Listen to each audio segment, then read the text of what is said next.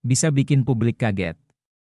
Pelatih Indra Syafri malah sombong begini jelang versus Kamboja di laga kedua Piala AFF U19.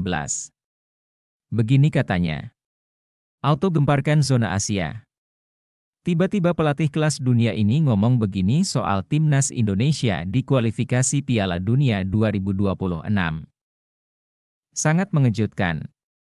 Striker timnas Thailand langsung berani gini jelang Piala AFF U19 2024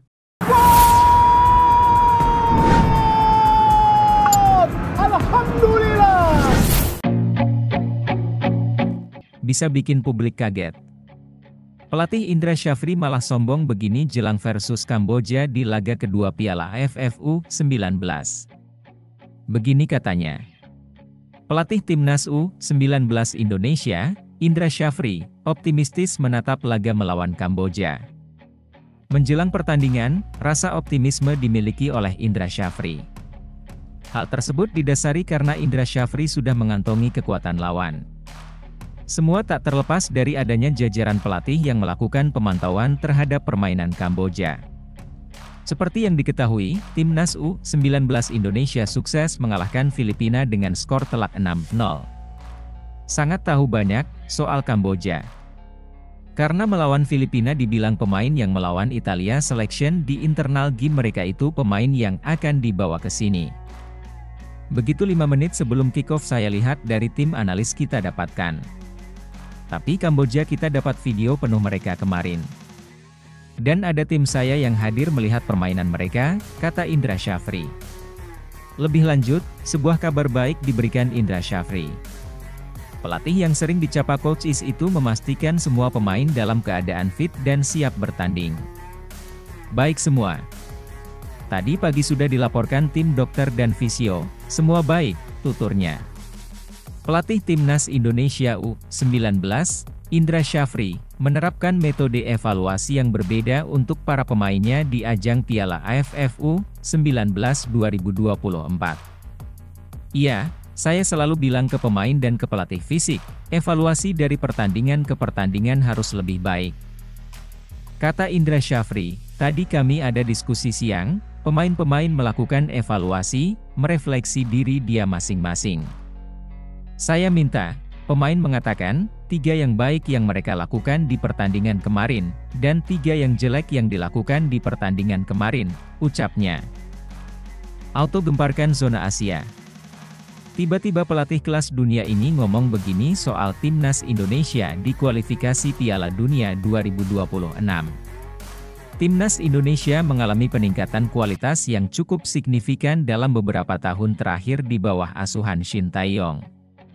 Peringkat terbaru FIFA menunjukkan Indonesia berhasil melampaui Malaysia dan kini menjadi yang terbaik ketiga di Asia Tenggara. Prestasi timnas Indonesia juga tak luput dari pengamatan pelatih-pelatih kelas dunia. Sementara itu, mantan pelatih Inter Milan, Roberto Mancini mengaku kerap memantau perkembangan sepak bola Indonesia. Menurutnya, salah satu poin khusus adalah materi pemain yang terus berubah dan terus membaik bahkan karena penasaran dengan permainan skuad Garuda. Roberto Mancini sampai menyempatkan hadir di Piala Asia U23 yang diselenggarakan di Qatar. Saya melihat potensi besar dalam sepak bola Indonesia. Para pemain muda mereka memiliki bakat alami yang bisa dikembangkan lebih jauh, ujar Mancini. Pengakuan dari pelatih kelas dunia ini tentu menjadi motivasi tambahan bagi para pemain dan pelatih timnas Indonesia. Mereka kini memiliki tanggung jawab besar untuk terus meningkatkan performa dan membuktikan bahwa Indonesia layak bersaing di kancah sepak bola internasional. Meski tantangan besar menanti di babak ketiga kualifikasi Piala Dunia 2026, harapan dan semangat para pemain timnas Indonesia tetap tinggi. Mereka sudah menunjukkan kok mereka sudah mengalahkan Australia, Korea, yang selalu ikut Olimpiade, kita kalahkan sehingga mereka enggak ikut. Artinya kita mumpuni. Bukan berarti kita juara atau apa ya, itu enggak. Tapi untuk berprestasi, kita bisa memberi perlawanan, ujarnya. Sangat mengejutkan. Striker timnas Thailand langsung berani gini jelang Piala AFF U19 2024. Timnas Thailand tergabung di grup C penyisihan bersama Singapura, Brunei Darussalam, hingga Malaysia di Piala AFF U19 2024.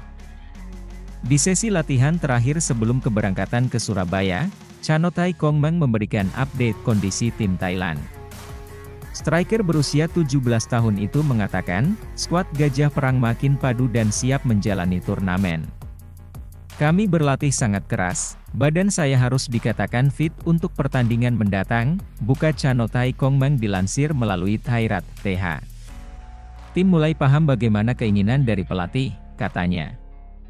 Demi menyongsong target meraih juara, Chanotai Kongmeng siap mengikuti apa pun instruksi dari pelatih Thailand Salvador Valero Garcia. Bahkan pemain milik Buriram United ini tidak masalah jika digeser ke posisi penyerang sayap. Baginya yang terpenting dapat membawa timnas Thailand meraih kemenangan dengan harapan utama sebagai juara. Saya siap berotasi untuk bermain sebagai striker atau penyerang sayap, katanya. Itu merupakan sebuah tantangan, lanjut striker postur 177 cm itu.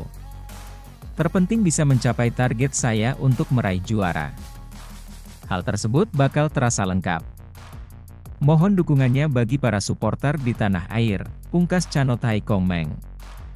Adapun Thailand merupakan tim tersukses di gelaran Piala AFF U19 2024.